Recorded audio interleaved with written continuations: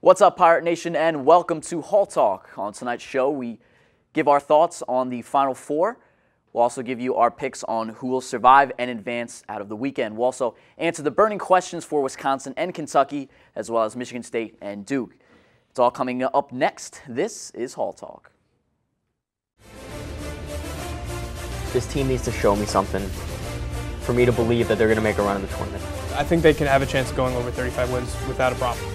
Just stepping up from the four points to the 17. She's just dropping threes like there's no tomorrow. But chemistry is an underrated key in college basketball. That, that was by far the best game I've seen them play. This is Hall Talk, and that's how the chalk talks.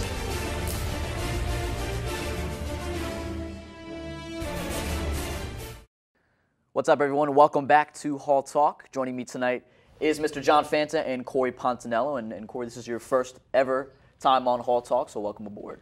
Thank you guys for having me. I'm excited. Let's get to it. John, how are you? Always great, Ryan. What an awesome time of year it is in sports. Final four week has arrived. I know it's your favorite time of the year, so we'll start off with a little yay or nay. How's that sound?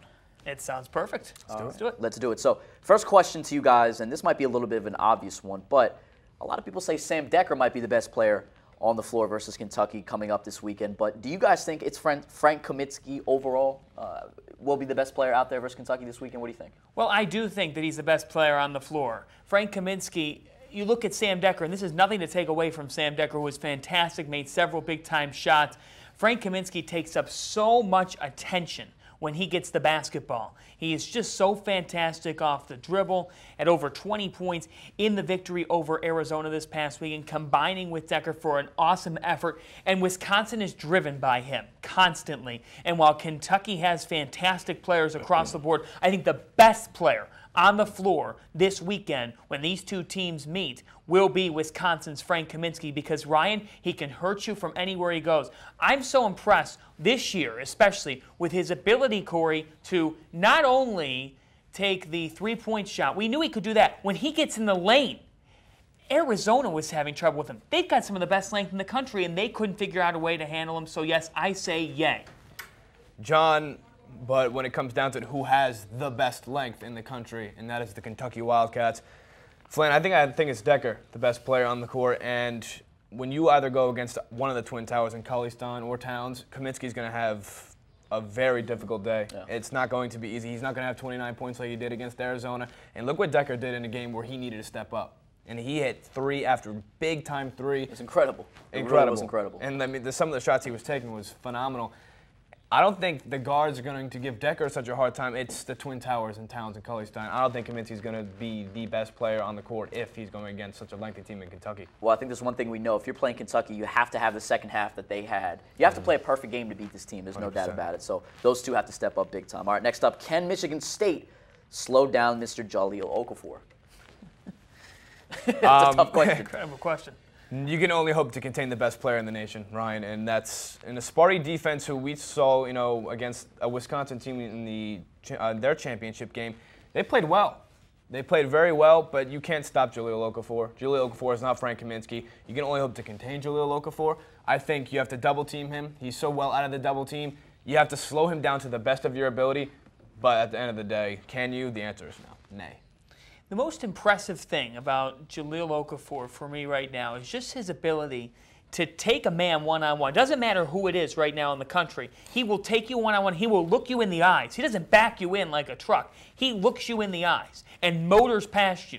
Knows how to. That is NBA type capabilities. It's an A for me. Jahlil Okafor will be the best player in that contest on Saturday evening against Michigan State. Yeah, it's certainly going to be an interesting matchup, especially with the Michigan State defense being so tough. I mean, that's really what got them this far, in yes. my opinion. All right, let's keep it rolling with the Duke theme here. Can Justice Winslow keep rolling for the Blue Devils? I think he's been the best player on the floor for them in this tournament, for sure. Well, this kid's fantastic, and he has been their Mr. X all season.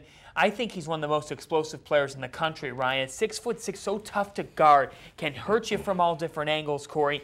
And the way that he's playing right now, not afraid to take it to the bucket. And that's what I'm so impressed by with the Duke Blue Devils right now, folks. They faced a Gonzaga team. People don't they don't remember here.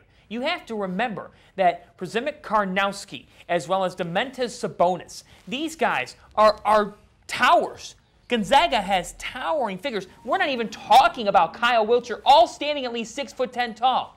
And you know what? Time and again, Justice Winslow goes into the lane and figures out a way to get past him. How? I don't know, but we talk about Quinn Cook, Tyus Jones. Well, how about Winslow? He's just such a dynamic player, and he can hurt you in so many ways. All right, so Cory, really quick, do you, do you think he can keep it going? Really quick. Uh, I do not think so. I think Branden Dawson is a Spartan Wow. that can slow him down. 61 points per game is not a lot in basketball. This Spartan defense is doing a really good job. Tom Izzo knows how to get it done. He knows how to shut down players who can get it done. I don't think he can get it going. Well, Tom Izzo has been known to reach a lot of Final Fours, but he's uh, not a lot of championship games, so we'll see. All right, now we'll move on to another segment. It's called the Unsung Hero for each of the two games going on uh, this weekend in the Final Four. So we'll start with Michigan State and Duke. We'll stick with that for a little bit. Uh, who's your unsung hero? Cory, I'll start with you this time.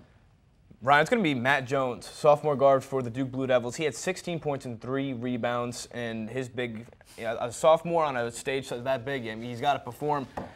Doesn't necessarily need to have 16 points and hoping to beat Michigan State, but Michigan State does play a phenomenal defense. If you can throw eight or nine points in there, it's going to help. Like we said, who's going to stop Okafor? He's going to be, you know, obviously a big contribution to all, all of Duke's points. At the end of the day, you know, a spark off the bench never hurts any team. And if he wants to advance, help his team advance, I think Duke will be in the championship game. Well, who's been stuck in single digits in a good portion of the tournament, but played big time in Michigan State's victory over Louisville? Had 13 points to win and add something at six foot three. Ryan, he's a guard.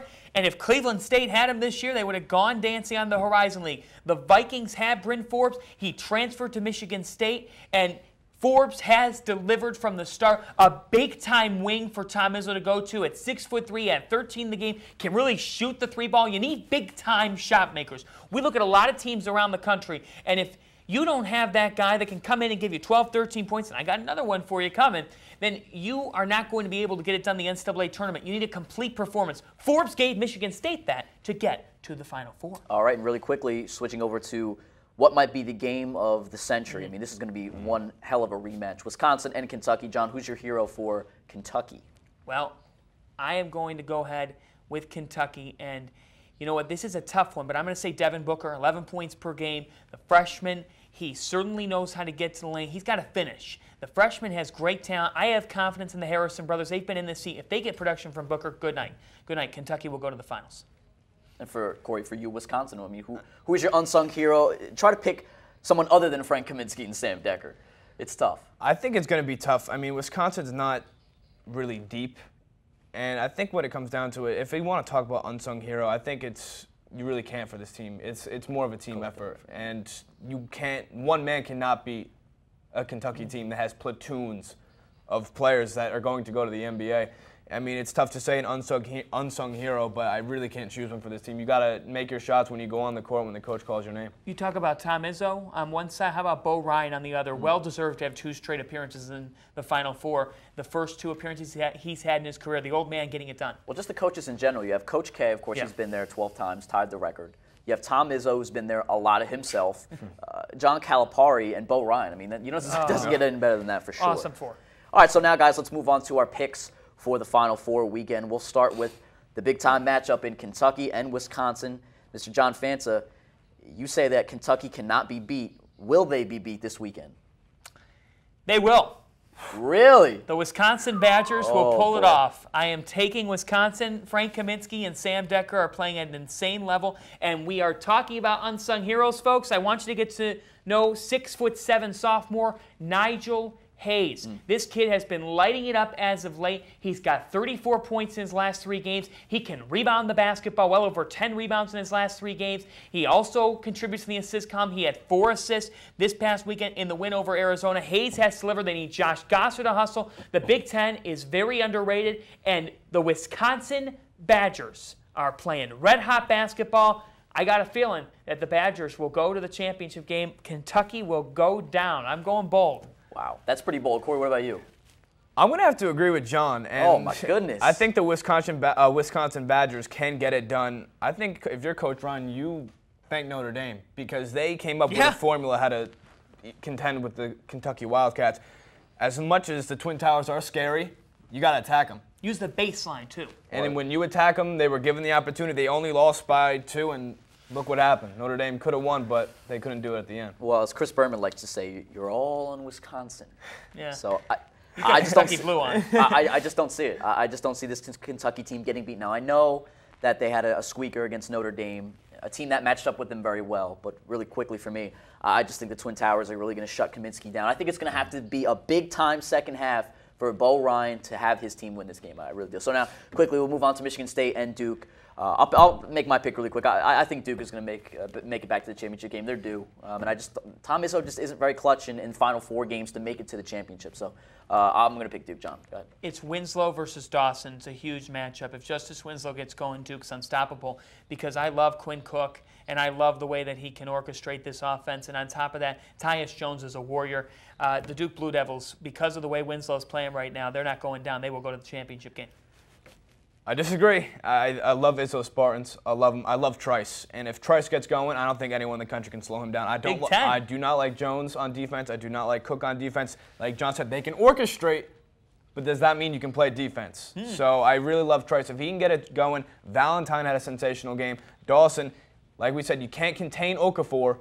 But if all three of those big three for the Michigan State Spartans get it going, watch out. Big Ten lover here. Yes. Well, the Big Ten's had a great year. I mean, you talk about Ohio State winning the, the football championship, uh, two teams in the Final Four, the wrestling championships as well. They're, they've, they've been unstoppable this year in Division One sports for sure. So, uh, so just like apple pie and hot dogs, I don't know if hot dogs is American, but the Fanta rant is probably the, the second most thing that comes to it. Uh, and, and John, you want to talk about the coaching carousel that's going on uh, around the nation with big time programs like Texas, uh, Alabama, and Wichita State. So go ahead, it's your Fanta rant.